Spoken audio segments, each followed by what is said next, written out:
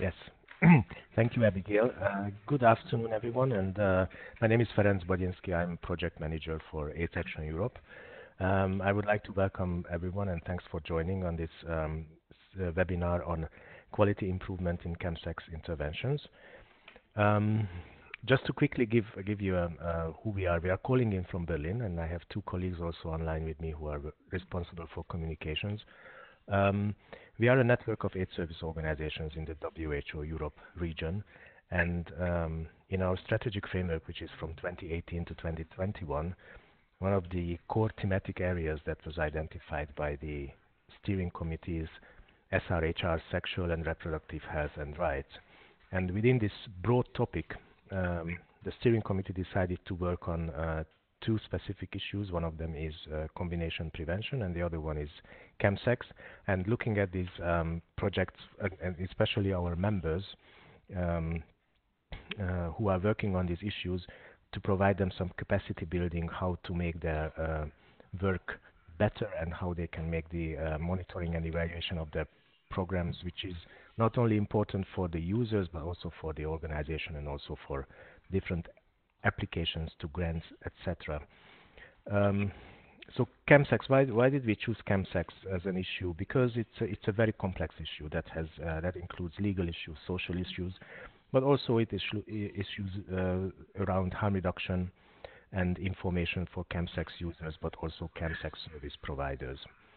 And um, I'm going to share my screen now, but I don't have the speakers, right?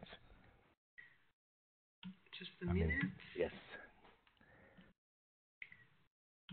And why we decided to um, to work on quality improvement is um, because in 2009, um, AIDS Action Europe, together with the BZGA, which is the German uh, Ministry of Health agency, and the WHO Europe, uh, started working on quality, improving quality in HIV prevention in Europe.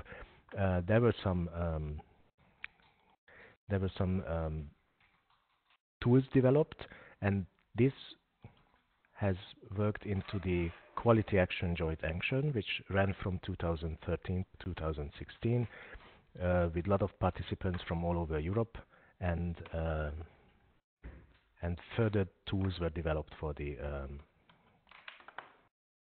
for quality improvement. Um, now, for some reason, I lost my uh, cursor. Okay. Anyway, um, so IQ HIV moved uh, grew into an um, quality action on joint action, and we also thought that um, for the sustainability of programs, not just at the um, um, national level but also at the European level, it is something that we can uh, we can move back to its uh, it's tools that are free to use and can be um, um, an easy option for people who are interested in uh, applying the uh, quality improvement tools um, in their programs to use it. Um, this is from me a very short introduction, and I would like to hand over to the floor to our two speakers. First, uh, Deirdre Seery from, from Ireland, who has been involved with the quality action um, joint action from the very beginning, and also Matthias Wentzlaff-Eggebert from Germany, who has been uh, there from the very beginning, I think from 2009. So over to you, uh, Deirdre. Thank you.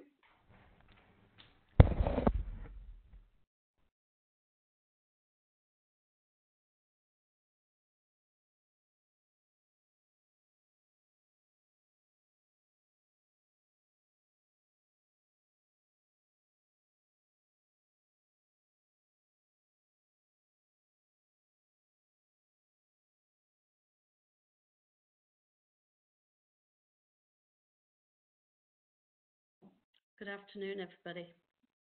I had some technical issues first time around, so hopefully I'm sorted this time. This quality improvement uh, webinar is looking at chemsex. We're not the experts on chemsex, you are. We're the experts on quality improvement. So together we will merge what we do so that the outcome at the end of your application of the quality action tools is better HIV prevention work amongst chemsex users. What is quality improvement and why do we bother with it? Quality improvement helps us identify and implement strategies. It helps us evaluate those strategies to improve our projects and, and, pro, and programs. So it's less about what we do day to day, it's more about putting the emphasis on understanding what we're doing and doing better because better is always possible. Reflective practices can be challenging for people who work in organizations, especially community health workers who are very, very busy and often feels that to actually take time out of doing is just a waste of time. The quality improvement tools actually show that it's not a waste of time.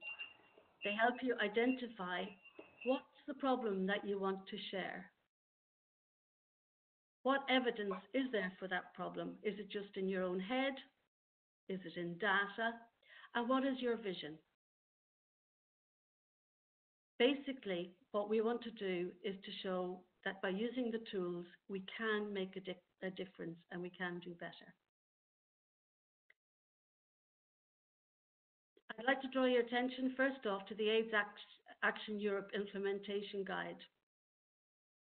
It's really important to, to read this document before applying a tool, um, and particularly uh, starting off with planning and preparation.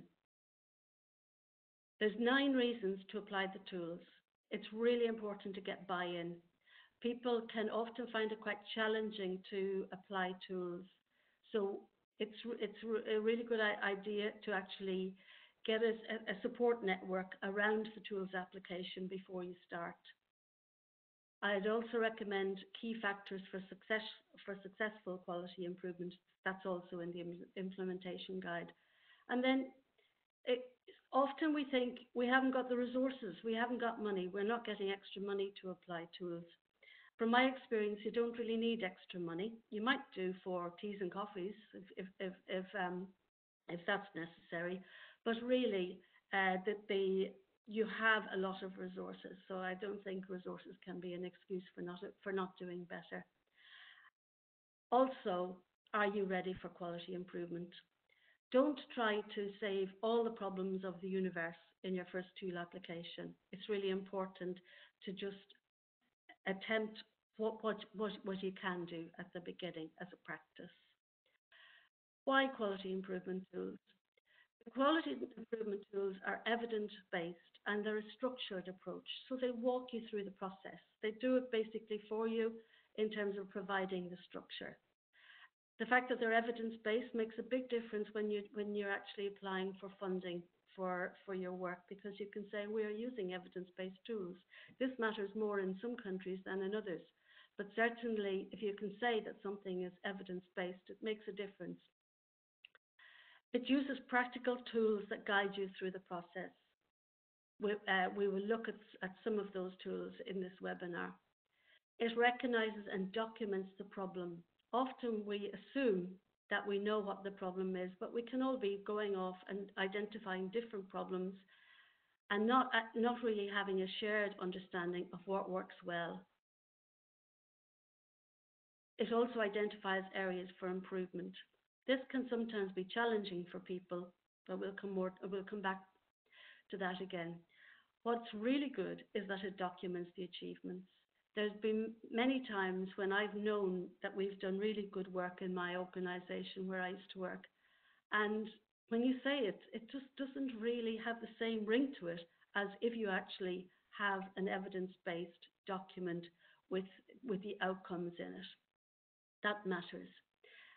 Furthermore, it involves stakeholders. The quality improvement tools really invite uh, the uh, participation of, of people who have different experiences. Diversity is good, it's challenging, but it's also good. These are the quality action tools that are available on the Quality Action website.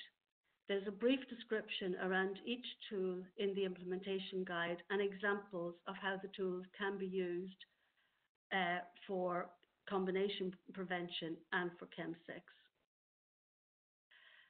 As an example, the Succeed tool structure is as follows. It looks at goals. It talks you through how to how to write down your goals. Uh, asks you who your key populations are, what approach you're using, is it harm reduction, etc. Um, who's responsible and what are they responsible for? Uh, how is the work organized and implemented? What resources do you have? And then looks at the process, the actual process of applying the tools. Then it looks at results. We all like results. These results will be written down. Running a tool application, it's really, I can't emphasize um, highly enough the importance of creating a safe environment. It can be very challenging for people who are working away to have their work open to discussion by quite a diverse range of people, both uh, service users, key populations, managers, CEOs, sometimes funders. It depends on who you want to involve. And in my experience, it can be really, really affirming, but it can also be very challenging. And also, sometimes people feel judged by the process. They might feel they might get um, a bit defensive if they feel their work is either not understood or not appreciated. So, constantly creating and recreating a safe environment in the application of the tool is really important. And to keep coming back to this idea that it's about valuing what is working well and what is not working well. So, we're all in the business of trying to do better. Dealing with resistance is, it, it, it's a, I think it's an inevitable part of the process. People can get bored, they can feel that it's too structured, it's a waste of time. It's, a, it's about keeping buy-in to the process the whole, the whole way along, and that means checking with participants. Selecting the right participants is really important. You might not um, want to, or it might not even be possible to get everybody in the same room at the same time. Um, it's a question of actually select, selecting the participants and then working out how they can be involved and what, what levels. We'll come back to that. It's really important as well that you familiarize yourself with the tools. There's a tool selection guide referenced in, in the implementation guide. Uh, of the five tools, you might find that you want to use some of Succeed and some of uh, PQD or bits of other tools just to, to, to do bits of research. It's really important that you're familiar with the tool and that you're not actually looking through the tool and when somebody asks you a question about it, you don't know uh, any more than they do. So being familiar with the tools is very important. So once you start applying the tool, actually looking at the goal, what is your, the goal? And a goal is a shared understanding and a solid understanding about what you want to address. This is absolutely essential. So you might have a goal in your head that you want to reduce HIV amongst chemsex, chemsex users. I would suggest that's a very big goal. So it's a question of actually choosing a clear and concise goal that is applicable to your particular work and the work of your project and your organization. Um, what do you want to achieve and why? So it might be similar to other people working in chemsex uh, work around Europe, or it might be different. The main thing is that you choose something that's clear, concise, and smart. I suppose everybody is familiar with, with SMART, that's specific, measurable, achievable, realistic, and time framed. The other um, advantage of this is, let me ask the question here. Um, other advantage, oops, my machine is moving around of its own accord. Um, it helps everybody to understand the, the work, to develop a shared understanding. From my experience, this is not always the case um, people people can be working side by side and have totally different understandings and um, motivations for working. So when you have to write down the words in a tool application, it really does lead to a very interesting discussion around what you're doing and getting a shared understanding. This is really important for harmony as, as well as everything else. What are your key populations? A good project knows a lot about the people it serves, including who they are and why they want and or need what the project provides. You in your prevention work and as a community health worker may have a sense of what uh, people involved in chemsex need. They might not share that view. So how do you negotiate those kind of things? Who do you talk to to, to understand, to fully understand what people want or need and what your what your funders want or need and what your CEO wants or needs?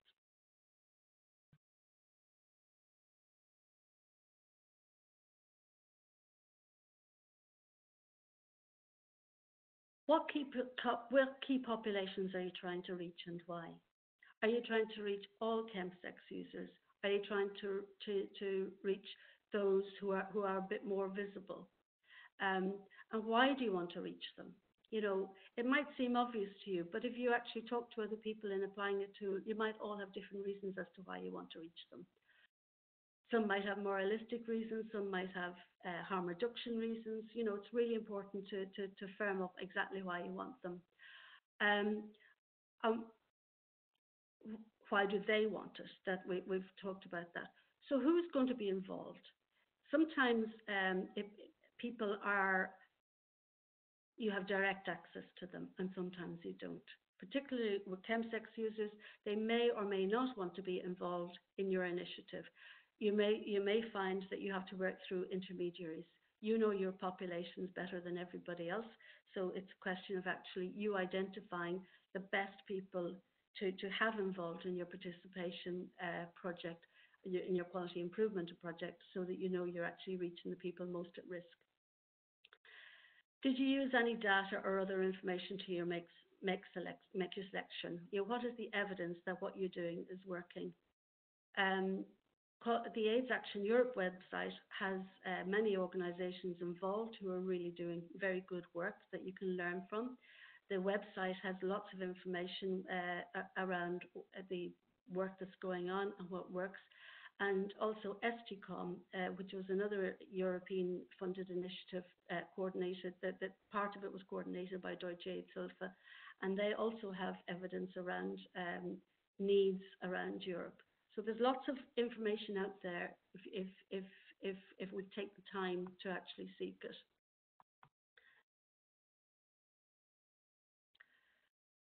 Participation, participatory quality development. This is one of the toolkits that's part of quality improvement. One example of it is it has a chart with nine levels of participation. Not everybody who's going to be in, uh, uh, participate in the application of your tool will have the same level of responsibility or interest or time or power. So it's a question of actually looking through the chart and seeing who can have uh, what, what level of participation when. And another really fun example to use with, with your team is circles of influence, where you can actually chart who, who can be involved and, and at what level. These, I, I think these two are not only very popular uh, mechanisms to use in a workshop, but they're also um, very effective so you get a clear understanding for example, you might think that you have total uh, say over your project, but your CEO or your manager might have uh, might have different ideas. Um, the implementation guide has workshop examples of how you can put these two uh, PQD aspects of their tool in, into practice. Another aspect to look at when you're when you're uh, organising your tool application is facilitation. Are you using somebody internally or externally? Is it going to be facilitated by the manager, the CEO, or somebody else in the organization? Um, which you know has its advantages, but then people might feel that they're being judged or that they're being honest about something, and that you know it's it stays within the organisation. Or do you get somebody who's external, who may be familiar with facilitation but less uh, familiar with the work? it's important to just decide who's the best person to, to facilitate the process. If it's an external facilitation, it takes a bit more time to get them up to speed with the with the kind of ethos and the work of the organisation. And who owns the process or the program? It, is it the community health workers or is it the, the, the, the management of the organisation or is it the funders? It's just important to think about this uh, to avoid confusion when you're halfway through the process and then you realise that actually you're all talking about maybe different ownerships of the project, of the tool application. Um, communicate, communication mechanisms between people is really important as well. If somebody is involved as an intermediary, for example, with, with, with chemsex workers, um, but not necessarily come to the meetings, how do you keep those people in the loop? How do you get their, their, their constant feedback? So it's important to think about the communication mechanisms and agree that with them so that people are not left uh, hanging around waiting for you to get back to them so, you know, sometime when, when you have the time issues particular to chemsex, um, accessing PrEP. PrEP may or may not be available in, in, in your country. Um, you can actually get information from AIDS Action Europe, I'm sure, around organisations where it is available and where it's free. In some countries, it might be available but not free. Um, I think uh, accessing PrEP is obviously, you know, one of the issues that we could actually apply a quality imp improvement tool to. And then there's the issues of rights and needs and motivation. You know, why are we doing this? Is it to uh, to improve uh, the HIV prevention work? Is it to improve our understanding of, chemsex and why people are involved with chemsex? Um, is it to have a harm reduction approach? You know, like exactly why are we doing it, and what that that will help us to firm up on our goals and uh, and then help with our evaluation. Um, I've talked already about access to chemsex users. I think access can be uh, a reason for doing nothing. we can say, oh, people are really difficult to access. Um, so therefore, we only go for what's called the low-hanging fruit the people who are easy to access, and then we say we know what we're doing. It's really important to really stretch ourselves, and I think opening uh, the participatory process to a wider group of people can really challenge our ideas. Um, participation in strategies, there's different perspectives. Often when, when we're um, a, a, applying tools, there's a moment co- that comes when someone says something that you hadn't thought about. And I think that's like one of those light bulb moments that can actually open doors and let your future work be inspired by that. And I think it is a question about being brave and open to participation, even from people that we don't like or who might be competitive with us. And then it's a question of how we measure outcomes versus outputs. This can be a bit of a technical problem, but a question, it's not a question of actually doing, doing, doing. It's about are we doing something that is making a difference? You know, are our outcomes what we want? It's not a question of whether we're reaching 10 or 50 people. It's it's really about the quality of the work, and that's what uh, the quality improvement tools are about. They're about the quality of, the work and the quality of our prevention initiatives. Documentation. Often busy people are less likely to document than, say, academics in the university. I can remember years ago reading uh, a, a, a write-up of a peer education program that I knew wouldn't work, but it was done by academics who didn't work in the field, and they, they showed that it did work, but it didn't, they didn't really. And I was very frustrated, and then I had to be honest and say to myself, well, actually, I'm not documenting. How is, how is anybody supposed to know? And I think it can be useful for funding applications at its basic level, but documenting local knowledge and evidence is really, really important.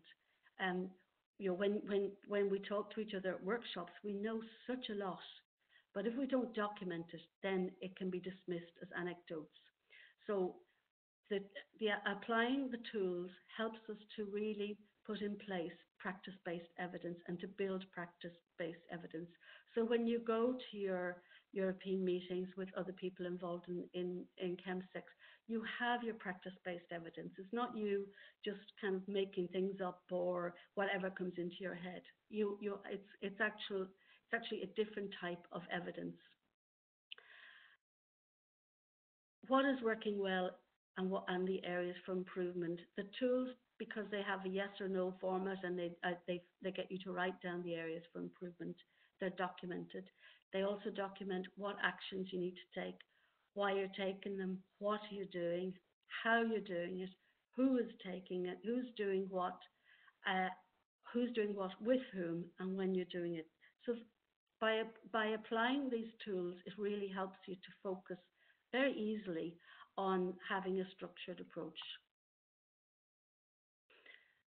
So that's my section on um, just introducing the process of quality improvement. This section is uh, th this webinar is not actually around uh, giving you the kind of blueprint for how to do better work in, in, in the chemsex field. It's about providing a tool or an overview of the tools that can help with your quality improvement. So I hope you've got some questions. Thank you, Deirdre. And yes, the floor is open for questions of clarification or anything that that uh, you would like to uh, ask from from Deirdre based on her presentation.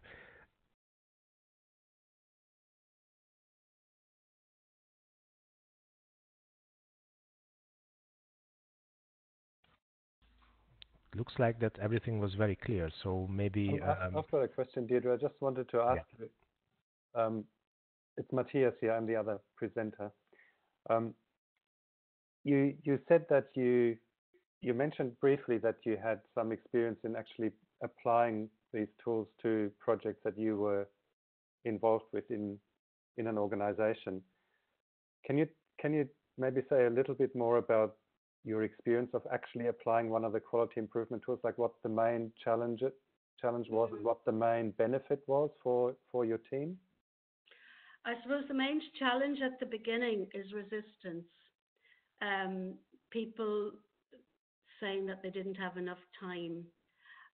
Also, just because it is so structured, people tended to get a bit irritated. It was almost like following a rule book, but it isn't a rule book. And um, so I, I, think people got a bit impatient sometimes with, with, the process. And then at other times, people got very defensive uh, because they felt that their work was being talked about and, and nobody else's uh, work was, was being talked about. Another challenge, of course, is, is who you involve around key populations. And, you know, not everybody likes each other, not everybody um, trusts each other. So it's a question of getting mechanisms where you can have key populations involved at whatever level is, is, is appropriate for them. Um, the out, at the end of the process, I was actually amazed at how people felt so much better. And so the first time uh, of applying the tool, you, you meet the most resistance. And then after that, it's not so daunting and it's not so threatening. And actually, I think people really see the value of it once they once they actually have the results and the uh, and, and, the experience. And it really does uh, improve the work and improve the understanding of the work of, of, of people who are working together.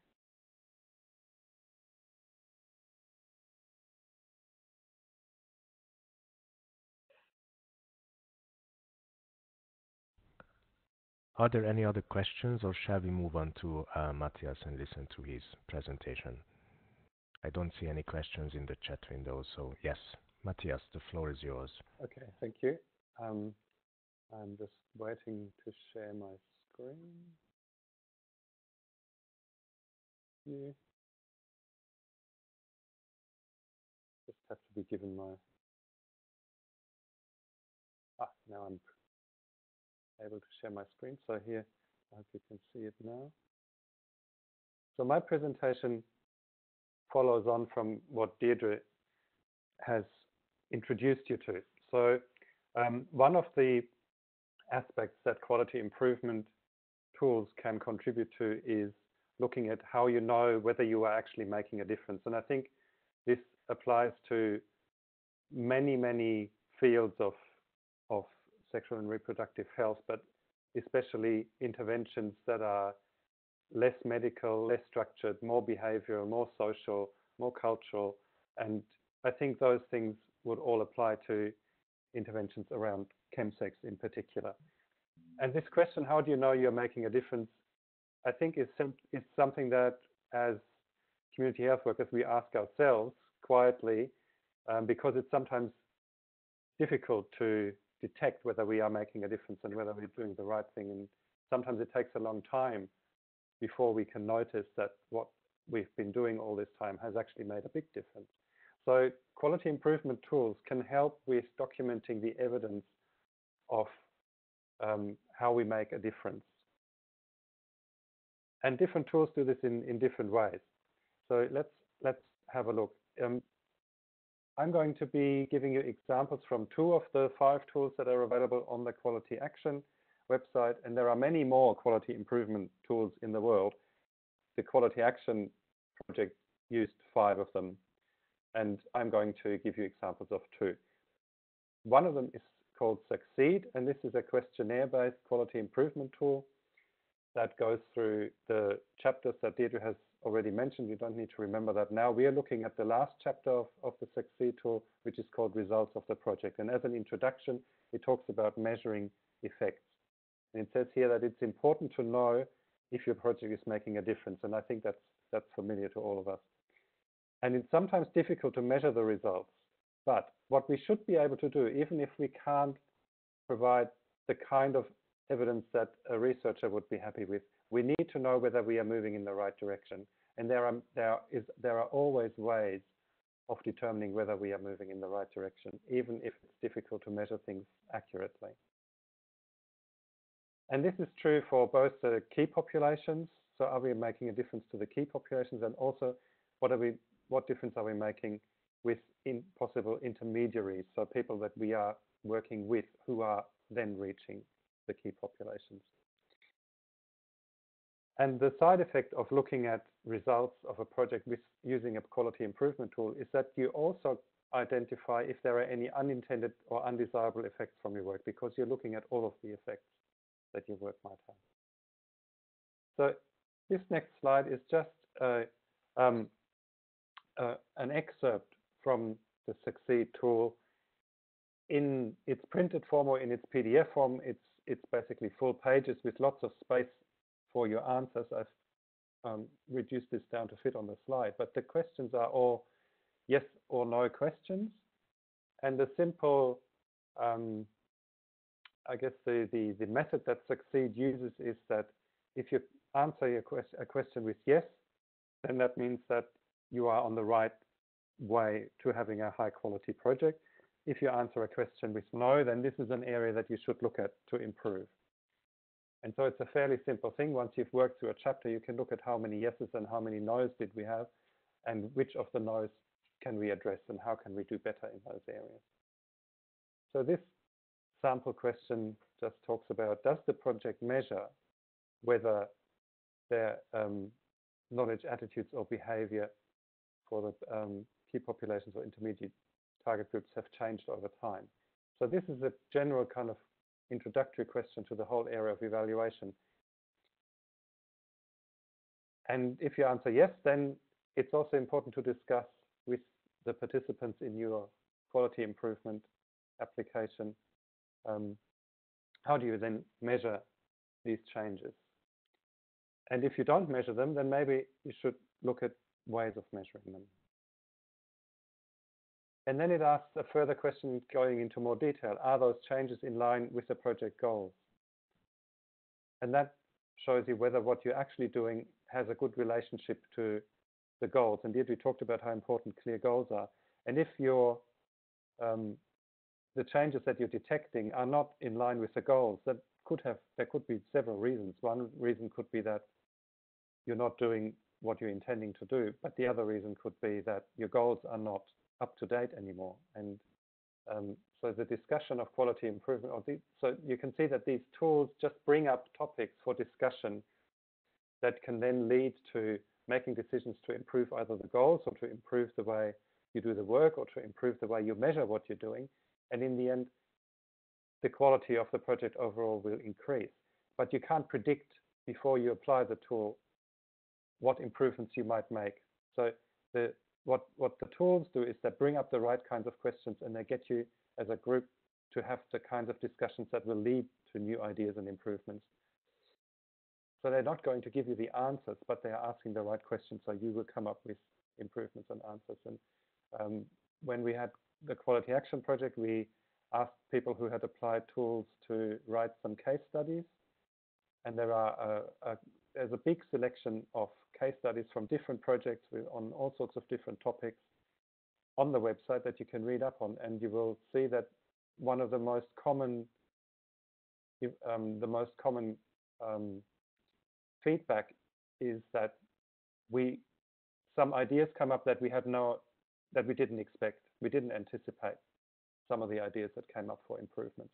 And I think that's that's the paradox of quality improvement tools. They are very structured, so they look very narrow, but their main their main task is to get you to have the right conversations that will bring up unexpected outcomes, unexpected improvements that you didn't think of before. And that's I think that's the beauty of using a structured tool. Anyway, so here's some just some more examples of what these questions look like. Um, it also often asks, it, once you've answered yes or no, it asks why, and this is often where the new ideas will come. Sometimes it's also okay to say, well, we don't measure these changes because we don't have the capacity, and at the moment we are in an emergency situation, we have to respond, and we we don't have the capacity to do it. That's probably that might be an okay thing to to do. That what the tool does is it makes you make it explicit and document it so that you know why, for what reason you are doing certain things and for what reason you're not doing other things, which can be really helpful when you have to apply for projects or report on projects or defend your way of working with your funders or anything like that. So did we already talked about documentation. So the tools are actually automatically giving you an opportunity to, to document what you do and why you do it.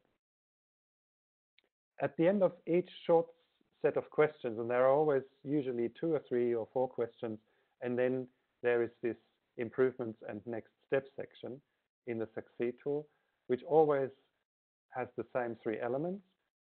It then asks what actions do you need to take to improve? And this is what that's where you document the ideas that came out of your discussion. But then you're also prompted immediately to make like an action plan to decide who will take responsibility for that improvement and when that improvement will be um, put in place. And it's important to also take an opportunity there to think about um, some improvements might make sense to do immediately because they're easy to do and the time is right. Some improvements you might have really good ideas, but it might not be the right time to put them into practice yet.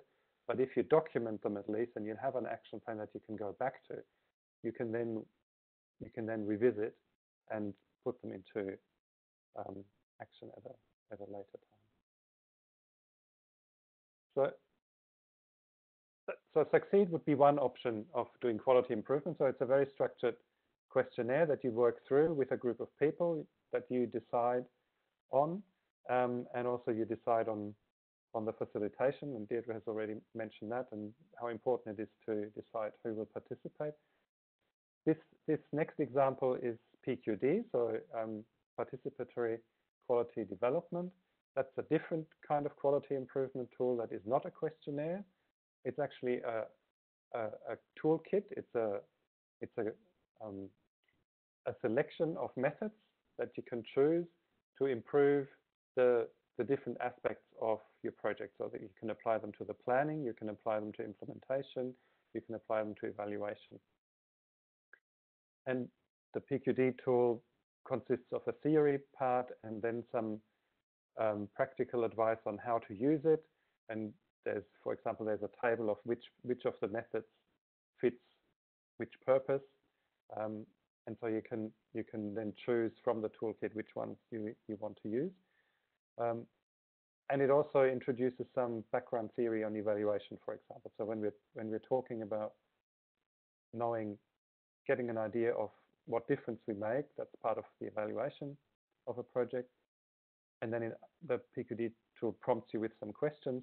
Which intervention is to be evaluated? So which part of the project? So you could, your chemsex intervention might actually, you want to, might want to evaluate as a whole, or you might want to evaluate one particular aspect of it. And that goes back to what Deirdre also said, is it, it's important to start small um, with quality improvement so people have a, a good experience and have some results reasonably soon so they can see the benefits.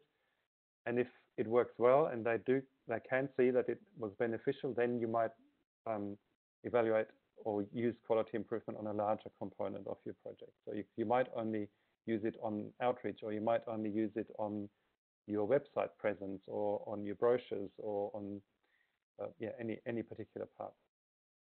And then you ask the question, who should be involved um, to do quality improvement on this particular part of your of your work. It's also really important to know why you are evaluating something and what you're hoping to gain from the evaluation and that also leads sometimes to the third question, for whom is the evaluation carried out? So is it, is it for your own benefit because you want to know um, how well you're doing? Or is it because someone ordered you or but you know you are obliged in some way to do an evaluation? And for different audiences, you might different you might do different types of evaluation. So then it goes on to give you some um, of the main steps of doing quality improvement in the evaluation part of your project. Mainly it's about data, about the questions um, that you're asking of your objectives. Or the, the question is, you know, how are we uh, achieving our objectives? The next is data collection. Some decisions have to be made about how to collect the data. Then data cleaning and analysis, and then importantly also reporting back and drawing conclusions regarding the improvements that you want to make. And this, these are fairly standard um, items on uh, an evaluation work plan. You might be familiar with it, but here we're now looking at what kinds of quality improvement methods can we use to improve our evaluation processes. So now I want to just give you a brief example of one of the methods that the participatory quality development toolkit offers you to do evaluations. Um, and one of them is called rapid assessment. You might be familiar with it. It's a it's a it's a quick survey tool. And what's nice about the PQD um, quality improvement tool is that it gives you step-by-step -step instructions of how to apply this method.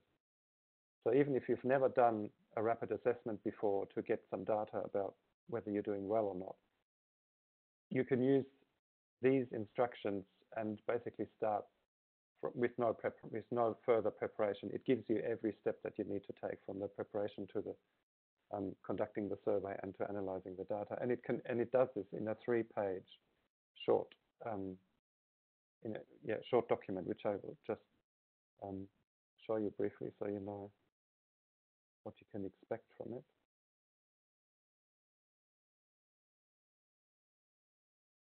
So this is this is what one of these instruction sheets looks like. So you can see this one is on rapid assessment. Then it gives a brief description, talks about prerequisites, gives an overview of the process. It also importantly tells you what resources you need to do it, whether there's any costs involved, and then it gives you detailed working steps, and you could just work through them with your team step by step. They're very short. And then some additional tips at the end and notes.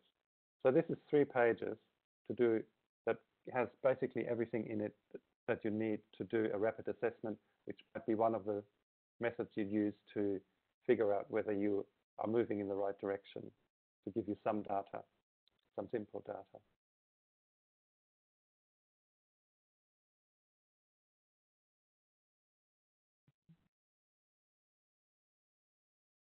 So just to conclude, some of the things we talked about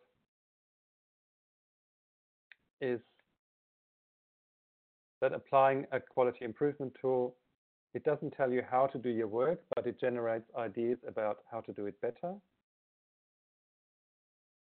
And importantly, what you get out of using a quality improvement tool depends also very much on who you invite to the quality improvement process. And that means thinking not only about your team, but also maybe about key informants or key people from your key population who have particular expertise, or you can provide a perspective that you don't have in your team. You might also involve someone who's a drugs expert or a, an expert on a particular area of, of um, knowledge that, that you might need. Um, so it's, it's important to think clearly about who you want to invite.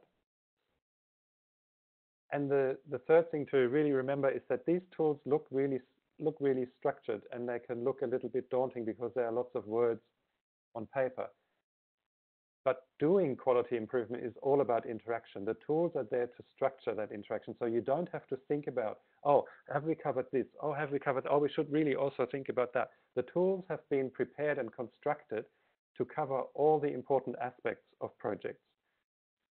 So you can just, that's why it's important to choose the tool that you think will work for you and familiarize yourself with it, but then you can just rely on the tool to guide you through the process and concentrate on the interesting ideas and the interesting conversations that the tools generate.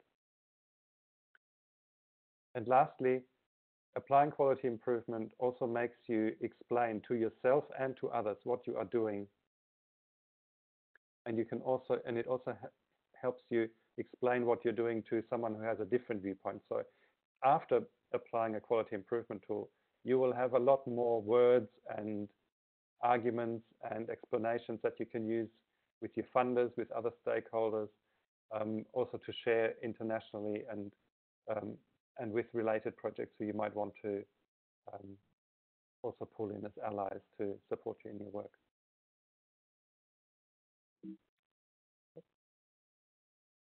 And lastly, I want to show you uh, a kind of representation in a in a little model of what quality improvement is or how the quality action group at least understood it, understands it.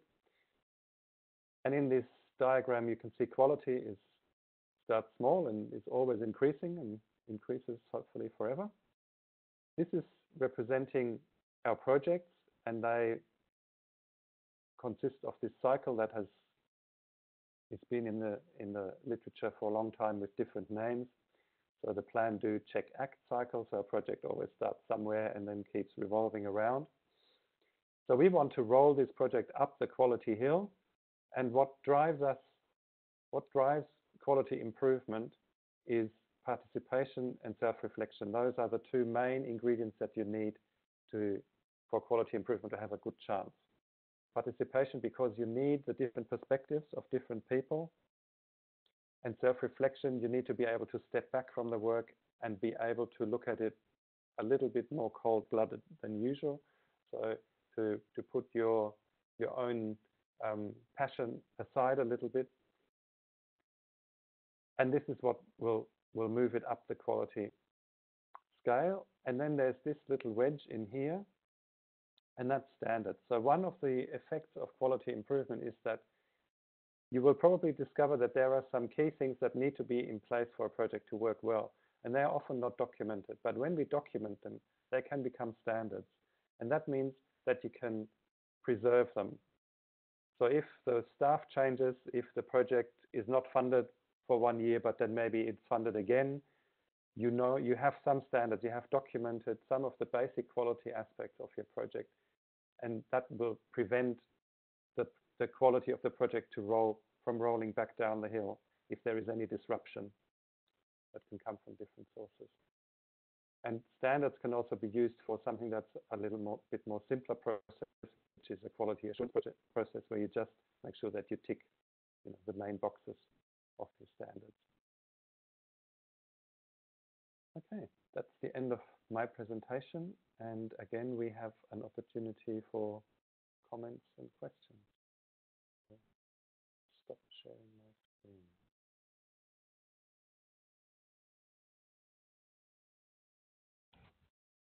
Thank you, Matthias. There is actually a question in the um, chat window coming from S. Barros. What is the estimated cost of employing the presented tools?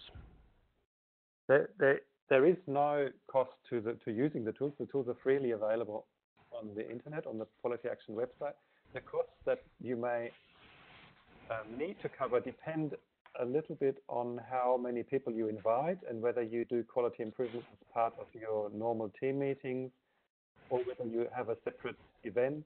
We have some experience with people who have used like a team development day to do quality improvement. So they were they went away from the workplace and they hired a different room and they had some refreshments. So there was some costs involved in that.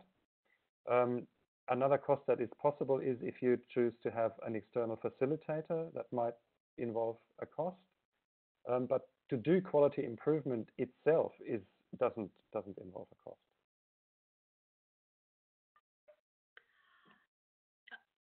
From my experience, um, we can often use not having extra money as a as a barrier, and um, really we didn't need any extra money to to apply the tools. Even getting an external facilitator, it might be possible to get an external facilitator from a similar uh, organization who might be involved in maybe harm reduction with drugs or something, um, so that they're related but not necessarily in your organization if you want an external one. The, the implementation guide has a whole list of resources that are required, but really um, there's, there's no need to uh, have extra funding for it. You might decide to choose a, a, very big goal as a second step or a third step, uh, in which case doing the quality improvement, applying quality improvement tool at an early stage can include as one of your goals to apply for funding for a bigger piece of work. But really, you know, to, to apply a tool shouldn't doesn't necessarily require any extra money. And I'd reiterate again that it's good to start small and maybe start with only a, a chapter from one of the tools in a team meeting so you get a feel for what quality improvement feels like and what the benefits are.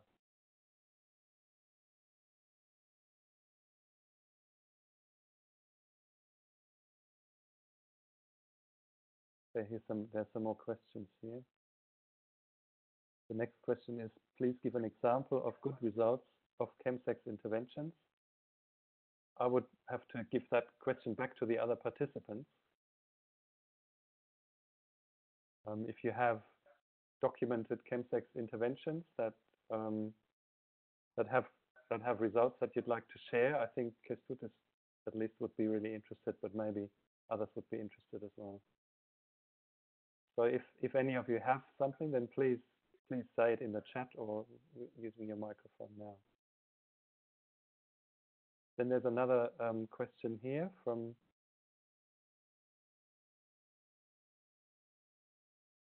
someone. I can't see the first name. Anyway, documenting the process is very important. If you want to have some evaluation, you have to have data.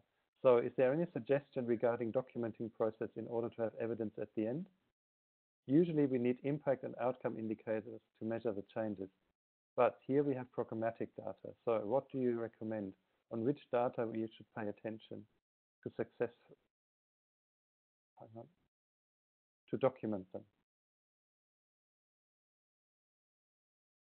I think there's a difference between the data that you have to collect for your funding body or you know that you're obliged to collect and some of the data that you can also collect that will tell you whether you are moving in the right direction and those can be the same but they can complement each other what what what quality improvement can do in addition to the data that you're already collecting is it will document what Deirdre called um, um, practice-based evidence. So evidence that is not necessarily based on outcomes or numbers or you know test results or anything like that, but it's based on the, the collective experience of your team. And if when that's documented, it can become a really good guide of um, for for process for process evaluation.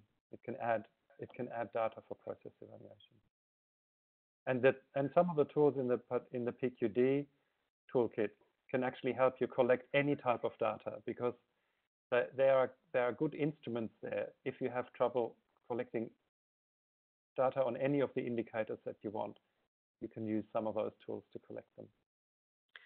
I, I think as well about documenting data, it's easy to take for granted the knowledge that we gain from working in the field. And we have to realize that funders don't have that knowledge. The medical profession, who are not working in, in the same areas as we do, don't have that information. Um, other organizations might not have that information. So it makes a big difference to actually document it and to uh, in terms of whether your outputs versus your outcomes, if you're trying to measure outcomes, then you really have to stick close to your goals, which, which will have measurable outcomes, and uh, and and then docu- do the work that actually shows that that your work has achieved the outcome, or if it hasn't achieved the outcome, why it hasn't, because often that information can be as interesting as as if you have achieved your outcome, because sometimes it shows you that the the, uh, the, the key populations you're working with, the needs are far more complex than you thought. That's all evidence as far as as as far as quality improvement is concerned.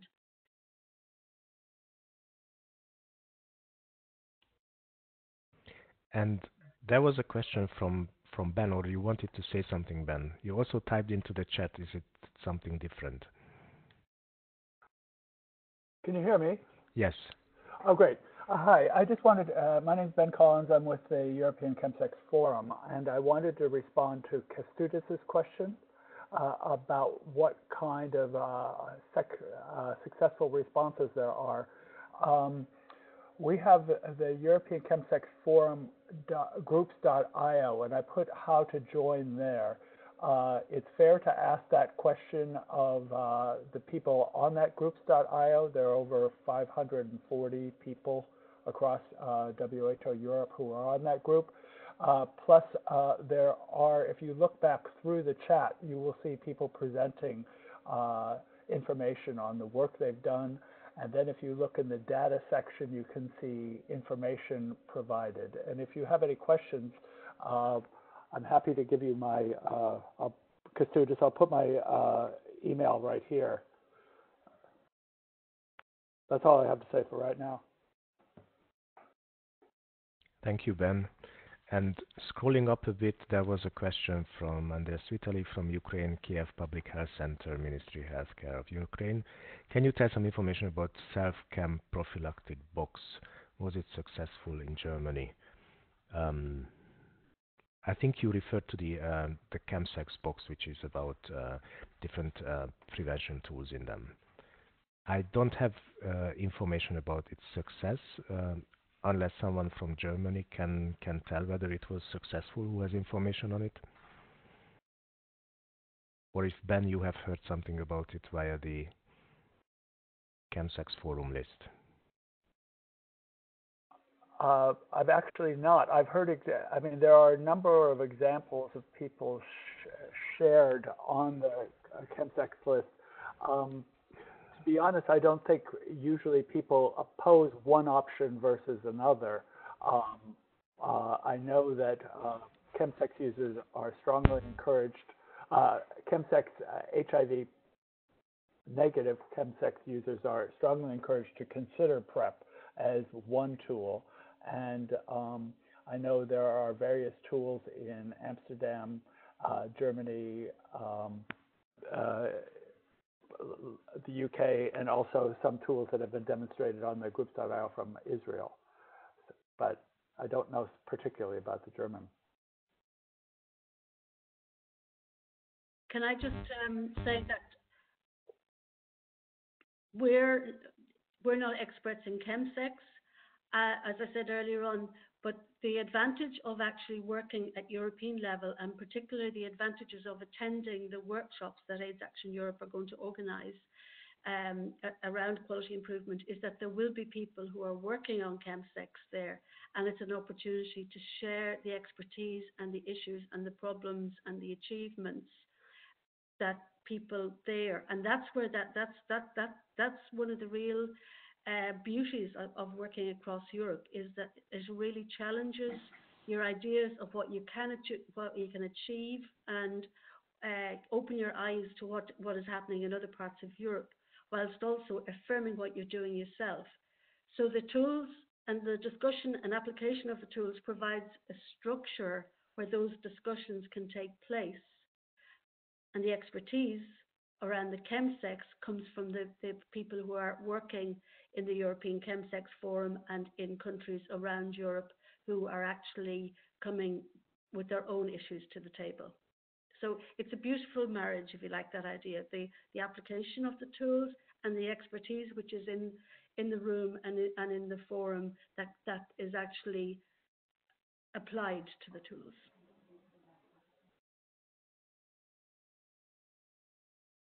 Thank you, Deirdre. And there was another uh, question which uh, from Amr Goar, which says that I missed the part which was showing chemsex dangers versus introducing PrEP to chemsex users. I'm I'm not sure with what this refers to. Amr, could you uh, clarify your question or comment?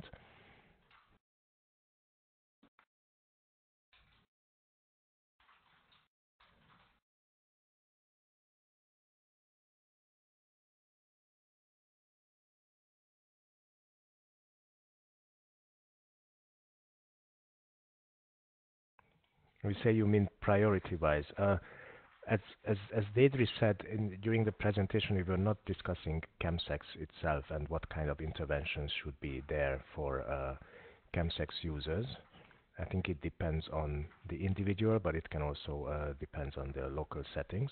For instance, if PrEP is available or not. Um, we, we were more talking about the quality action tools applications. But I think this is a this is one of the great questions that uh, during a, a, quality improvement um, tool application, you would have a really good chance of getting to the bottom of this question for your area and to find a good answer or a good approach forward. Because this is exactly somewhere where you might want to improve. You're not quite sure how to prioritize these two um, responses, and having having a a structured quality improvement discussion with some other um, team members and experts in the room, you have a good chance of, of um, finding a good answer for that. That will actually fit you because I'm sure that in on the forum there will, there will be plenty of examples of people who said, "Oh, we do this or we do the other one," but to find the one that will will work in your area, a local discussion um, and self-reflection process and quality improvement could be one of those processes um, is likely to give you good ideas. Thank you, Matthias. Are there any other questions?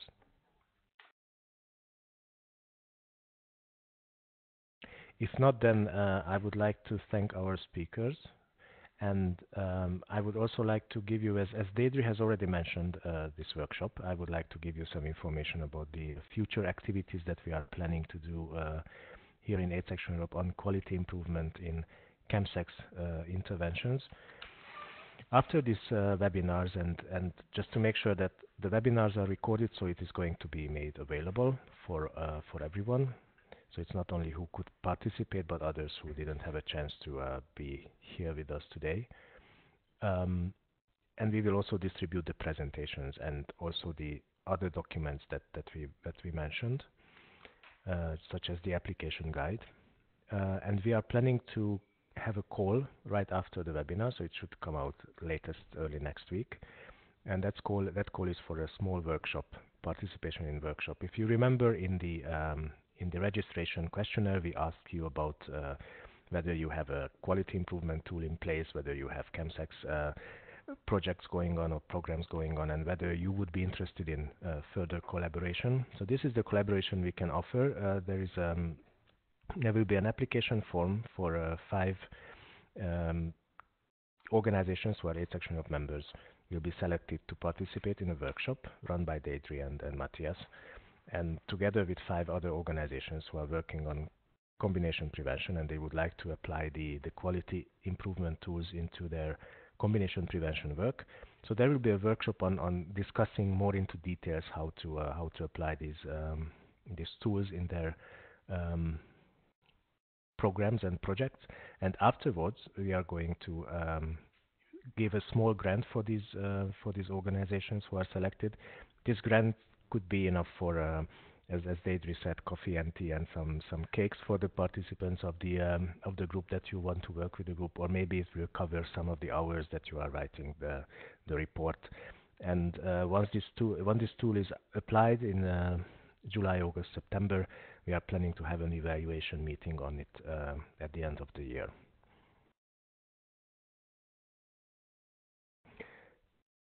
Are there any other questions? If not, then uh, we would like to close down the webinar. And thanks again for the participation, also for the valuable comments and questions.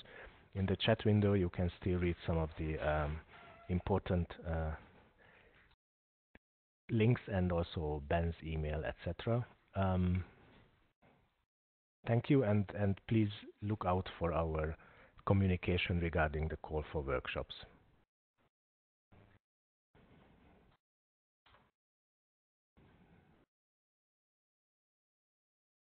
Yes, and thank you. Thank you, Abigail and Blanca, for hosting it and supporting us on having this webinar. And I will I will write you an email for all the information we disseminated here and the recordings. Thanks. Okay, thank you. Thank you. Thank you. Bye bye.